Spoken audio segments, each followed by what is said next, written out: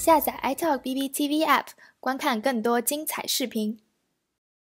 六十五岁的日本首相安倍晋三周五举行新闻发布会说，他得面对自己的治疗，不能因治疗而在决策上犯错，只能决定辞任首相。他为此向人民道歉。而安倍已经创下日本首相最长任职记录。安倍此次首相任期已近八年，但近来因新冠疫情的应对不力，在日本国内不断遭遇批评，其内阁支持率也不断下降。安倍本周一还在数日内第二次前往医院，引发外界对他健康状况的猜测。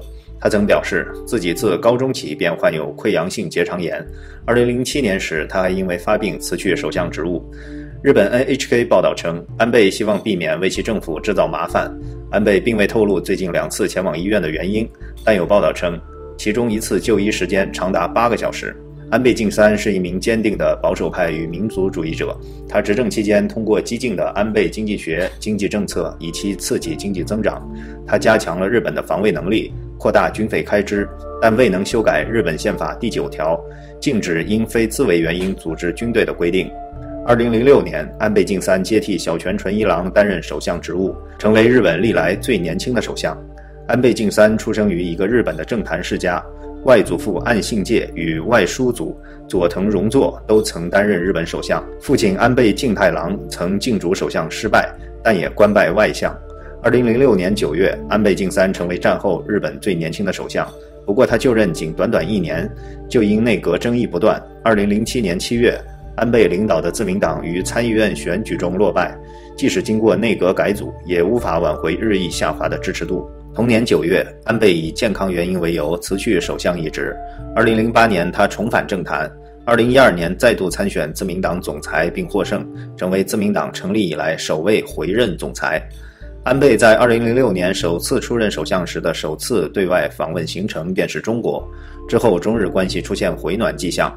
而他在二零一二年再度担任首相后，多次参拜靖国神社，同时巩固日美同盟，加入时任美国总统奥巴马提出的跨太平洋伙伴协议 （TPP），强调对钓鱼岛的主权主张。中日关系再度跌入冰点。在中美经贸关系日益紧张，与美国总统特朗普推行偏保护主义贸易政策的背景下，中日关系在二零一八年实现久违的突破。中国总理李克强于当年五月到访日本，安倍晋三于同年十月访问中国。安倍表示，希望两国可以进入化竞争为协调的新时代。去年，两国还确定中国国家主席习近平将于二零二零年访问日本，但新冠疫情爆发后，这一议程暂被搁置。安倍晋三在宣布辞职后。东京证券交易所股价大幅滑落。为了短暂稳定政局，自民党可能会采取紧急投票法案，尽快选出新任首相。由国会议员三百九十六人加上原先自民党的各督府道县代表一百四十一人，共五百三十七人投票。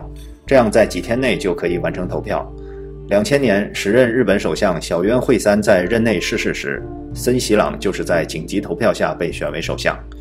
安倍晋三在正式被接替前将继续担任看守首相。他在新闻发布会上说：“到下任首相或任命为止，将切实尽责，直到最后。”日本宪法规定，如果首相无法执行职务，则会按照法定顺位由内阁其他大臣出任代首相。代首相并无任期限制。现任副首相兼财务大臣麻生太郎在这一序列中排名第一，其后为内阁官房长官菅义伟。执政的自民党将选举新任党魁，胜者再经由国会议员选举任命为总理。新当选的自民党总裁将接替安倍晋三完成剩下的任期，直到二零二一年九月。如果您喜欢本期视频，请关注、点赞并分享，下载 App 解锁更多功能。我们下期再见哦。